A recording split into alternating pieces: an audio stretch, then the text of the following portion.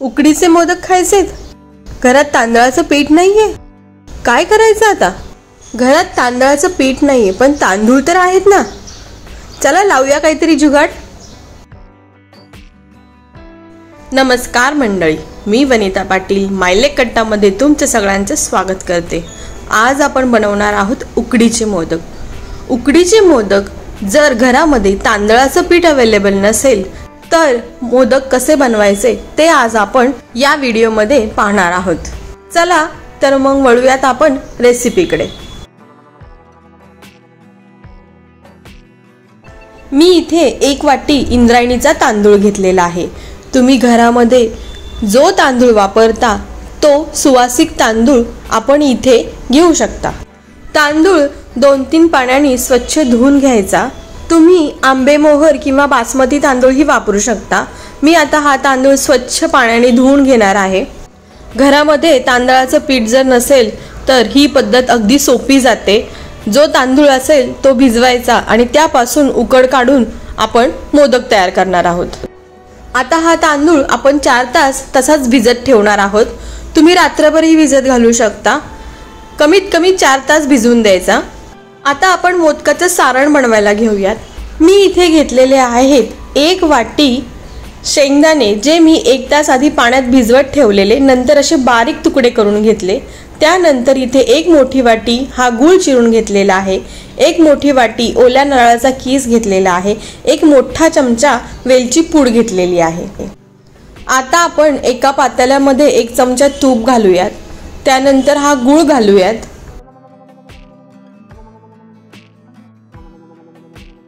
अर्धी वाटी नारळाचं पाणी किंवा पाणी घालूयात. मंद आचेवर हा गूळ आपण वितळून घेऊयात. गूळ पूर्णपणे वितळल्यानंतर आपण यामध्ये किसलेलं खोबरं घालूयात. त्यामध्ये भिजवून चिरून घेतलेले शेंगदाणे घालूयात. हे पूर्णपणे ऑप्शनल आहेत. आम्हाला मोदकामध्ये भिजवलेले शेंगदाणे आवडतात. सो मी शेंगदाणे घालते. प्रत्येकाची मोदकाची सारण तयार करण्याची पद्धत ही वेगवेगळी असते. काही लोक खसखस घालतात काही जण फक्त खोबरं आणि गुळाचंच मिश्रण घालतात. हे मिश्रण कोरडे होईपर्यंत सतत असं ढवळत राहायचं. आता आपण यामध्ये वेलची पूड घालूयात.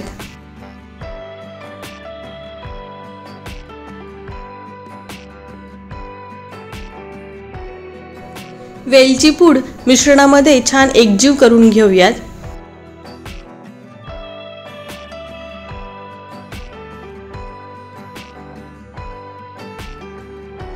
आता आपले सारण छान कोरडे झालेले आहे. आपलं मोदकांचं सारण तर आता तयार झालेलं आहे. चार तास भिजलेले तांदूळ मी इथे चाळणीमध्ये निथळण्यासाठी काढून घेतलेले आहे. चाळणीतलं पाणी पूर्णपणे निथळून झाल्यानंतर आपण हे तांदूळ थोडेसं पाणी घालून मिक्सरमधून छान बारीक वाटून घेणार आहोत. आपला घट्ट चहा कसा असतो तशी कन्सिस्टन्सी ठेवायची. गंधासारखा घट्ट अशी पेस्ट झाली पाहिजे. मिक्सरच्या भांड्यामध्ये थोडंसं पाणी घालून मी मिक्सरचं भांडं धुवून घेते.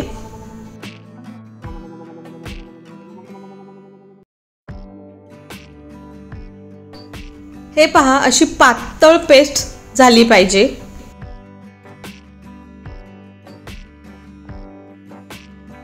आता आपण यामध्ये घालूया एक चमचा साजूक तूप. तुम्ही तेलही वापरू शकता. त्यानंतर आपण चवीपुरते मीठ घालूयात. हे सगळं छान एकजीव करून घेऊयात. आता वळूयात पुढच्या प्रोसिजरकडे. मी कढईमध्ये पाणी गरम करायला ठेवलं होतं. पाण्याला ऑलमोस्ट उकळी आलेली आहे. आता ही तांदळाची पेस्ट आपण उकडून घेणार आहोत. तुम्ही डायरेक्ट ही गॅसवर ठेवू शकता पण डायरेक्ट गॅसवर कढई ठेवल्याने काय होईल? खाली पीठ लागण्याची शक्यता असते. म्हणून आपण अशा पद्धतीने वाफेवर हे पीठ शिजवून घेणार आहोत. अगदी एक ते दीड मिनटामध्ये पीठ छान मऊसच शिजते. चमच्याच्या सहाय्याने हे पीठ कंटिन्युअसली हलवत राहायचं ढवळत राहायचं नाहीतर गुठळ्या होण्याची शक्यता असते. पहा आता पिठाचा ऑलमोस्ट गोळा होत आलेला आहे शिजत आलेला आहे. एक ते दीड मिनिटामध्ये पीठ छान शिजतं.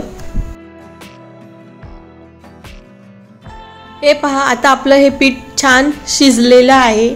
एक दीड मिनिट झालेलं आहे. आता आपण हे पीठ एका परातीमध्ये काढून घेऊयात. आणि छानपैकी मळून घेऊयात.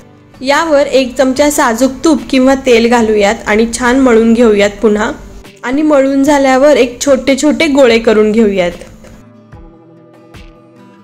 आता आपण तांदळापासून उकड बनवण्याची पद्धत पाहिली. आता आपण पारंपरिक पद्धतीने तांदळाच्या पिठीपासून ही उकड काढून घेऊयात. मी दीड वाटी पाणी घातलेलं आहे पातेल्यामध्ये. त्यामध्ये एक चमचा तूप घातलेला आहे. पाण्याला उकळी आल्यावर आपण त्यामध्ये तांदळाची पिठी घालणार आहोत. जेवढं पाणी घातलं तेवढीच पिठी घ्यायची. जर दीड वाटी पाणी घेतलं तर दीड वाटीच पिठी घ्यायची. पीठ घालताना सतत कलत्याच्या सहाय्याने ढवळत राहायचं नाही तर गुठळ्या होतात. पीठ ढवळताना गॅस मंद करायचा आणि मंद आचेवर हे दोन ते तीन मिनटं पीठ छान शिजवून द्यायचं. दोन तीन मिनिटांनी गॅस बंद करून झाकण ठेवून एक पाच मिनटं हे पीठ तसेच ठेवायचं. नंतर ही उकड आपण एका मोठ्या परातीमध्ये काढून घेऊयात. मी जास्त प्रमाणामध्ये उकड काढलेली आहे कारण उरलेल्या पिठाचे आम्ही तांदळाची भाकरी करणार आहोत. म्हणून मी जास्त प्रमाणात उकड काढलेली आहे. आता हे पीठ आपल्याला गरम गरम असतानाच मळून घ्यावे लागते. सो हाताला चटका लागू नये हात पळू नये म्हणून असं एखादं पसरट भांडं घ्यायचं वाटी घ्यायचं किंवा तांब्या घ्यायचा आणि त्या पसरट भांड्याच्या सहाय्याने हे पीठ असं मळून घ्यायचं. त्यानंतर हाताच्या सहाय्याने पुन्हा छान मळून घ्यायचं. मी छोटे छोटे गोळे करून हे पीठ मळत आहे कारण पीठ जास्त प्रमाणामध्ये आहे. पण मऊसूत असं पीठ मळून घ्यायचं. म्हणजे आपले मोदक तुटत नाही फाटत नाही.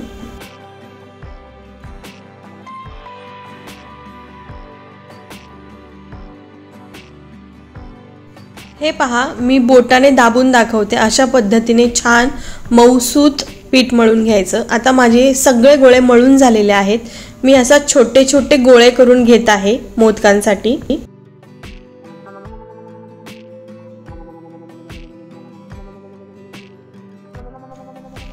तुम्ही मोदक पारी लाटूनही बनवू शकता किंवा हातानेही मोदकाची पारी बनवू शकता.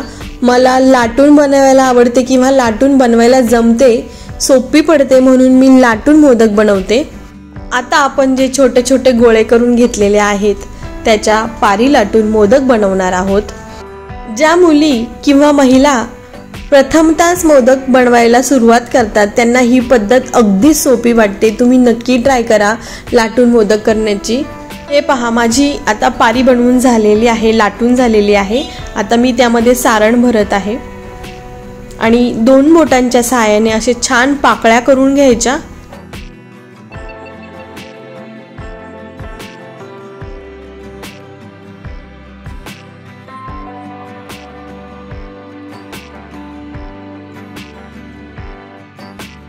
पाकळ्या बनवून झाल्यावर वरच्या बाजूने असं त्यांना दाबायचं. पातळ करायच्या. आता ही पारी माझी मोठी आहे सो मी अजून थोडंसं सारण भरणार आहे.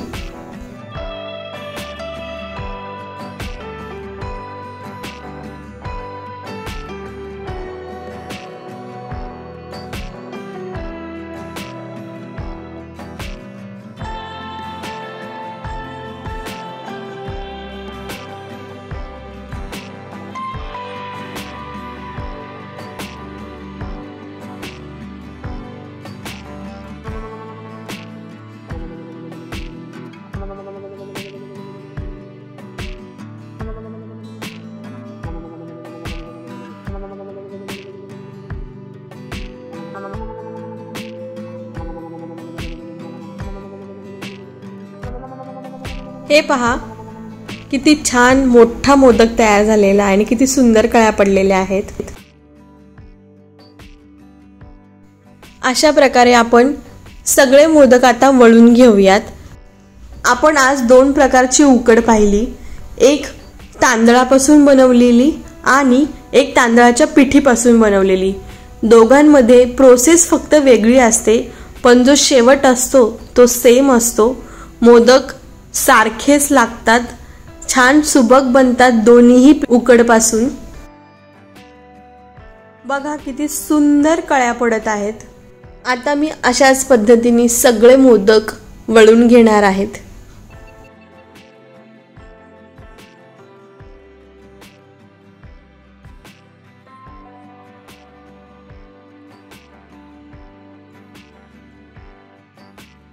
माझे सगळे मोदक वळून झालेले आहेत. आता आपण मोदक पात्रामध्ये पाणी उकळायला ठेवलेलं आहे. पाणी उकळल्यानंतर चाळणीला तेल लावून आपण त्यामध्ये मोदक ठेवूयात.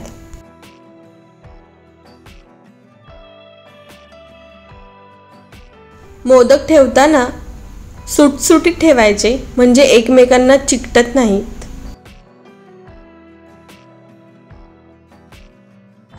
आता झाकण ठेवूयात आणि दहा ते पंधरा मिनटं मोदक छान वाफेवर शिजवून घेऊयात. दहा पंधरा मिनटं झालेले आहेत. आता आपण झाकण काढूयात.